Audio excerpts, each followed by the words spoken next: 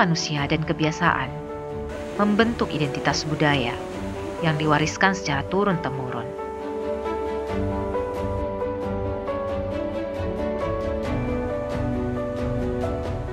Kisah dari masa lalu tentang besarnya peradaban Kondok Sapata tersemat abadi pada peninggalan mereka berupa kuburan tua yang terbungkus kayu, diukir dengan elok membentuk rupa kerbau dan tedong.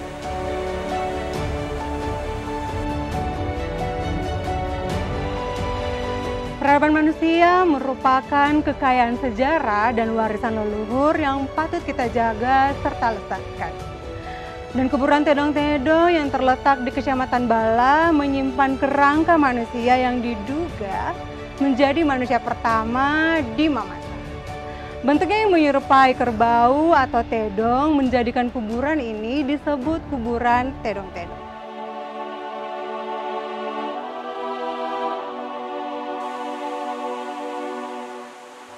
Sejenak suasana hening. Angin lirih berhembus, mengusap setiap permukaan bumi.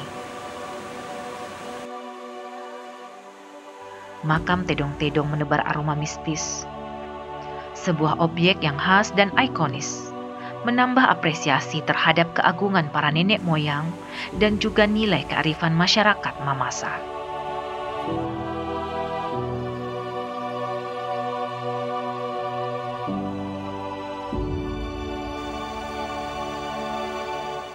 Makam Tedong-Tedong, salah satu situs budaya Sulawesi Barat.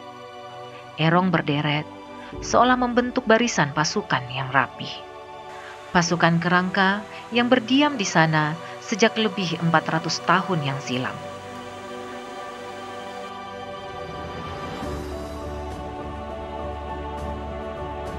Sembilan belas erong bisa menampung tujuh hingga sepuluh kerangka. Semua tergantung dari ukuran kayu uru yang tetap utuh mengamankan kerangka di dalamnya. Badan erong berbentuk perahu dan kerbau. Ini sebagai simbol bahwa masyarakat Mamasa memiliki keterikatan yang kuat dengan alam dan kerbau atau tedong. Tedong tidak sebatas memenuhi kebutuhan sosial, tapi juga ritual.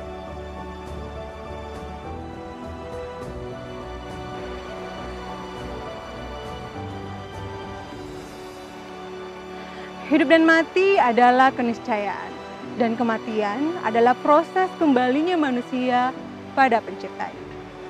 Kuburan Tedong-Tedong mengingatkan kita tentang bagaimana kita memaknai kematian dan tentunya menjadi saksi dan kekayaan warisan leluhur kita.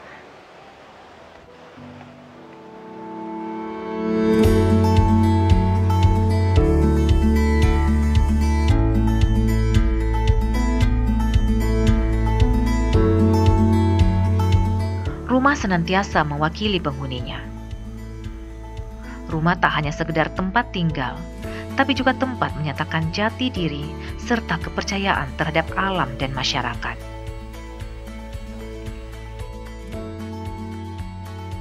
Di rumah, kita tidak hanya menemukan cinta, tapi juga internalisasi budaya dari generasi ke generasi. Rumah adat Mamasa merupakan simbol eksistensi masyarakatnya, syarat dengan simbol dan makna kehidupan. Rumah adat Mamasa tak sekedar rumah untuk mengamankan diri dari hewan dan gangguan lainnya, tapi juga tempat untuk meraih kebahagiaan dan menata status sosial bagi penghuninya.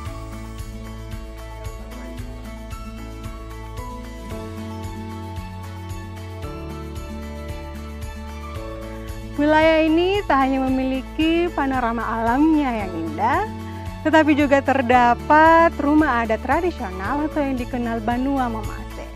Banua Mamase ini tentunya khas dan memiliki pesan-pesan dan filosofi hidup orang Mamase.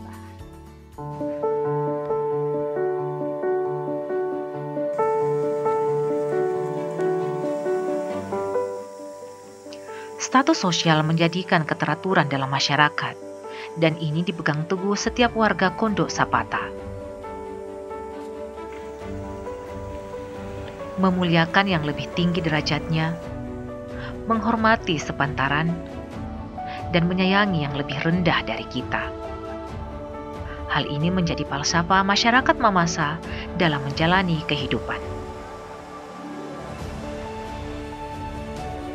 Tidak semua rumah adat Mamasa memiliki ornamen ukiran.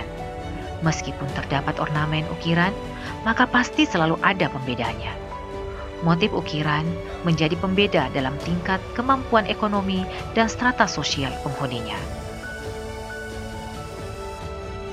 Selalu ada yang unik dari sebuah tatanan budaya masa lampau. Keunikan itu membuatku berdecak kagum bangga menjadi bagian dari makhluk Tuhan yang diberi akal untuk senantiasa memberi dinamisasi di atas dunia.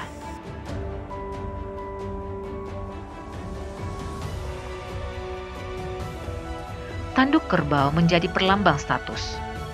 Status melambangkan budi, bukan untuk dinodai. Dan eksistensi setiap penghuni rumah menjadi kekuatan hidupnya suatu budaya.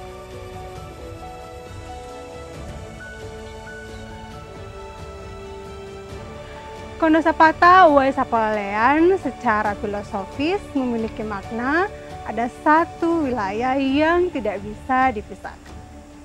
Masyarakatnya hidup secara adil dan memiliki hak yang sama. Wilayahnya mempunyai begitu banyak keunikan, bentangan alamnya yang indah, serta adat istiadat dan budaya yang terpelihara, menjadikan Tondoku Kondo Sapata selalu dirindukan dan tak lekang dalam ingatan. Aku yang terlahir dan dibesarkan di kampung ini. Aku yang dibentuk oleh karakter budayanya. Aku yang sejak di rahim ibuku telah merasakan wangi kopi dan kasih kearifan kampungku. Ke mana pun aku pergi, rindu padanya akan selalu membawaku pulang karena di sini aku menemukan duniaku, dunia kecilku, dan dunia masa depanku. Tondokku, Kondo Sapata.